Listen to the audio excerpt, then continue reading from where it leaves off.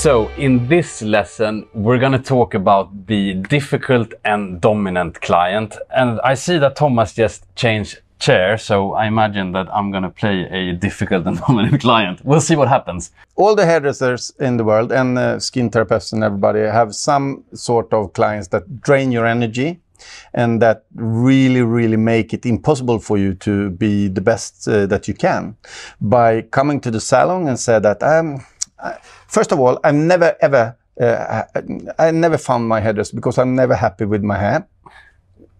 Mm. Already there, a hairdresser goes like, yeah. I'm not going to cut too much today. Eh? So yeah. you get scared and and it drains your energy. And they say that um, I, I, really really don't like my hair right now. It's too long, but I don't want it too short. And I I booked time for for a little touch up of the color. I want it blonder, not yellow, not yellow. I want it um, a little bit blonder, but I don't want any regrowth. And the fringe isn't working, but I don't want it short. You know, the drainer. They they take your energy. And I use a lot of techniques uh, with these clients. First of all, open questions, and they tell all of this to me. And the body language is always like this, wrapped up with the head on his knees, and the, yeah, you know, you know the type of person. Yeah. Every hairdresser have one uh, so while a, a client like that. So I let them talk a little bit first. I use my 15 minutes that, that I have. I use almost only open questions because if I, if I tell them something in the beginning, they will come back to me and say no, or we will have problems. So I use these open questions to let them talk a little bit. And then I get this information that I want. And then there's, there's, I use something that they said about it. And you know that when you look eh, eh, in, with your clients, it's approximately two and a half meters through the mirror to your clients. It's two and a half meters. I sit 40 centimeters from John now, but through the mirror, it's two and a half meters. And it's very convenient for a client to sit like this and be maybe all, also rude or whatever, and, and can say a lot of negative things. Then I choose one thing from the open questions that she said that I heard that she wants. And then I turn around and I say, is it really so that you want the length here? And when I come into this distance, something happens because I'm inside her comfort zone. She has to say yes or no. N not so much talking. Is it really important to have the length here? Um, yeah, yeah. you, you, feel, you, feel, it's it's not comfortable, yeah? No, absolutely. I'm on, I'm on the spot. Yeah, and yeah. then I go back again and we talk a little bit of the solution. And I mm. said, maybe I have bad experience before. We start with what you said, and next time I will have a plan for you to make a change. Not today. I want you to tell me uh, how you, if you liked it or not. I want you to talk to me about the color that I made, if it's good or if it's not. I can change it for you, but we can't make a change for you that you're happy with if you're never happy. Mm. So it's very important. Or what do you say? Yeah, yeah, yeah, yeah and you start looking all over the place because yeah. as soon as you come into the comfort zone, to use this technique a little bit, but only when it's necessary. And you need to know that it's a yes or no question that they're going to ask in because you're actually coming inside their comfort zone. And it's very it's very psychology um, free. And uh, we always do the consultation without the cape on. Because then you can see all the body language and if they look at the time or if they uh, uh, are nervous or if they whatever information i can get. So the cape is only on when we decided what to do the consultation is always that we talk about, okay, I see you have brilliant shoes.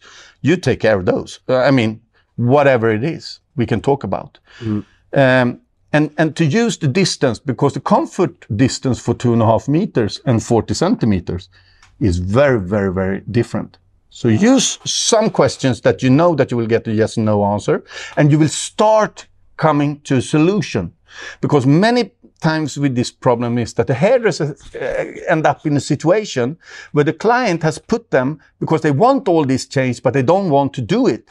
They said, I want it blonder, but not too blonde. I want it lighter, but not yellow. I want it long, uh, shorter, but not, don't cut too much. And that's the problem. So you have to choose one thing and to have a yes or no question and you will come to a solution. And to switch those clients from being trouble to be happy is the most efficient clients that you have. It will take two haircuts and one color and so on. With the right techniques, they will talk about you as the as dominant as they are here, as dominant is they with, with their friends. So they will bring in 20 new clients of you if you succeed. That can be the best client, the one that you hate from the beginning. And I promise you, to use the different techniques is going to work that we work with here, and to listen. Wow. Yeah. No, that that's that's a lot of great information in there. So I think that's a great point. The last one. I'm just trying to summarize a bit, so I'm getting it all right. But you know, the mind. You know, the fact that this client is being difficult here, and you're able to turn them. Maybe you're one of the few who have been able to do that, right? Yeah. Makes her a big advocate and one that will talk a lot about you also outside the salon. Yeah.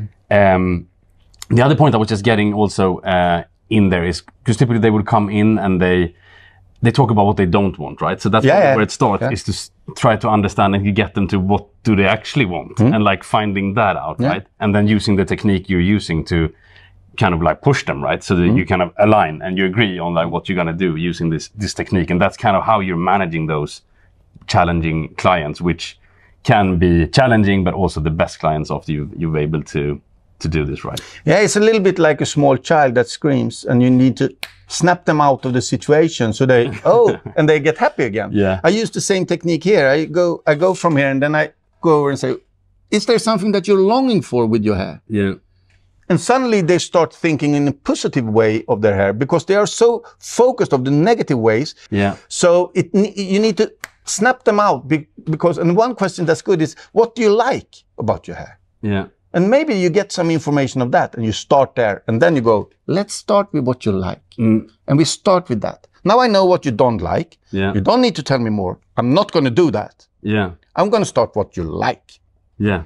Because then they relax and the arms comes down and, and they start. And after sec- next session and so on, it will be your absolutely best ambassador. And this is also about a client that calls in and say, I'm not happy.